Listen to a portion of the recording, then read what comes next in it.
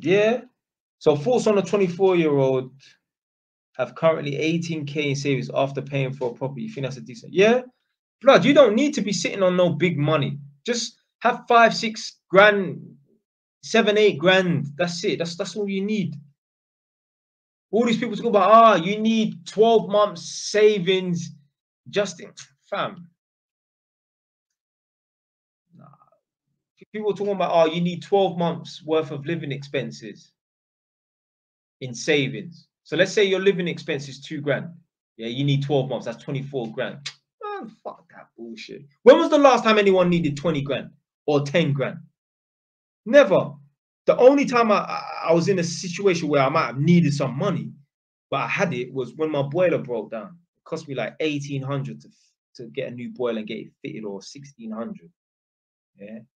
I'm saying, you might not thinking of doing a gas engineering and that. Hey, it's worth it. Obviously, the boiler cost me 1,200, but I paid a man 600 pounds to fit the new boiler. He done it in one day. 600 pound a day, decent money. I think he left here. So he was here from probably 8, left at like 8 p.m. I'll work from 8 to 8 p.m. for 600 pound a day. No fucking problem.